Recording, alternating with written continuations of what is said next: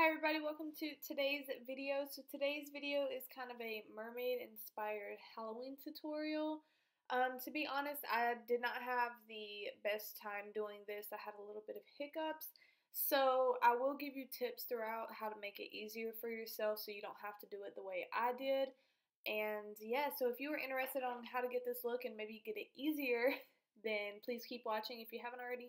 Don't forget to like, subscribe, and share down at the bottom, and let's get into the tutorial. Tell me pretty lies, look me in the face, tell me that you love me, even if it's fake, cause I don't fucking care Alright, so we're starting off with the 35U palette. This is by Morphe. I'm just going to start with this coral color right here, and that's just going to be my transition color. So more or less, um, for the palette, this was not the most pigmented shade, so it did take me a while to kind of build this up a little bit. And you're just going to take that and you're going to do windshield wiper motions back and forth above your eyelid. Alright, next I'm going in with this kind of reddish color. It actually comes off pink on the eyes, and that's just going to go into my crease. And I do tend to bring that up a little bit to kind of mix it more with the coral color. Now I'm just taking a big fluffy brush and just blending that. I'm just taking the ColourPop No Filter Concealer and I'm just going to kind of cut crease my eyes.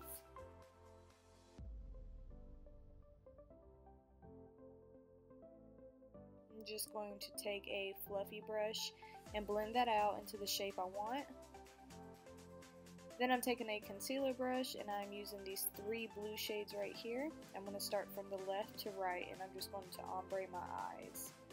So using that very, very left color for the inner corners, the middle for the middle part of the eye,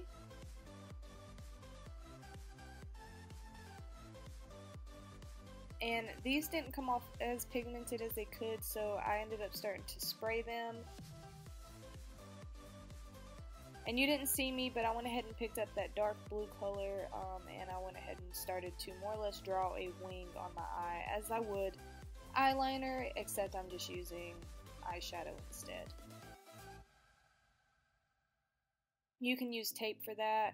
As you can see, I messed up my eye right here, so if it's easier for you to use tape to make them even, then I would suggest doing that. And this is the finished look for the eyes, so we're going to move on to the face. Oh no, actually we're going to put mascara on. I'm just going to use my Real Techniques to declump it. And then I'm just going to put some face moisturizer on. I'm using oil. You can use whatever face moisturizer and primer you have. I just decided to use the oil. I do put on a um, primer, but I didn't show you in the video. I'm using the BH Cosmetics liquid foundation and the LA Girl white foundation mixer. I'm using one pump of the BH and two pumps of the LA Girl because it is way too dark for me. So after I've blended it, I'm just taking a sponge and I'm just putting it on my face. It's got pretty decent coverage. I don't know if that was the mixer or if that was the foundation, but I actually like how it turned out. Oh, and don't forget to set your foundation. I didn't. Just going to take this purple color right here, and I'm more or less contouring at this point with this. Be honest, um, you can kind of skip this step because as you'll see later on I take this blue right here and you'll see me kind of contouring with it but I end up taking a fluffy brush later on in the video and just kind of applying it that way. It was so much easier to do it that way and then I took a smaller brush and I added the purple back in so I would suggest just doing how I did it after instead of doing it this way because it's just made it way harder. So as you can see, I'm taking that fluffy brush and adding the blue. As you can see, it's coming off way more pigmented and way more blended. It doesn't look as crazy.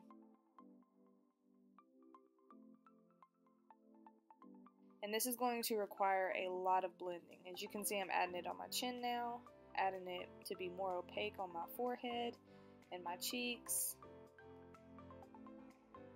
And just keep blending. And then as you can see I'm adding some on my nose now. So now I'm taking that smaller brush and going back in with the purple, kind of what I mentioned earlier, and I'm just kind of contouring at that point with it. and blending it out so it kind of mixes together versus just being a purple streak across my forehead and cheeks. As you can see, I'm also contouring-ish my chin and my nose to just kind of add a little bit of depth. And then I color switch and I just start blending so I don't add extra product and I can just blend what I already have on my cheeks.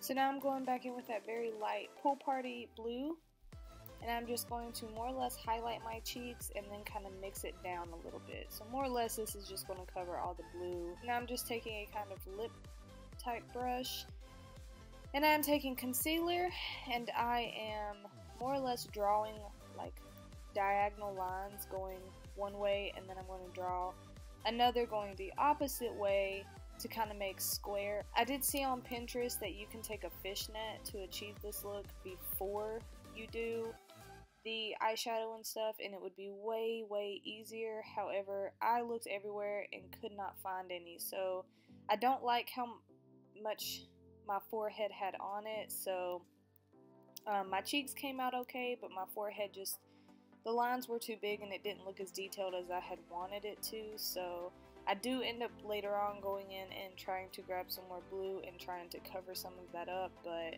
it still would have been way easier to either use a smaller detailed brush to do this or to just use the fishnet um, in the first place to get those perfect lines.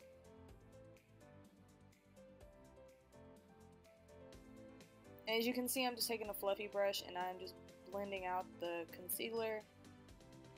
I went a lot smaller on my cheeks and it does end up looking a lot better. However, I do think that if you can somehow find fishnet leggings or something like that, or just fishnet in general, this look would be way easier if you just did that. And I'm just going to repeat this step all over my face, including my nose and chin. So now I'm taking this Urban Decay in the shade Plague, and I'm just putting that on my lips. It is a really pretty purple shade. I've only worn it twice, but this look definitely called for a purple lip in my opinion.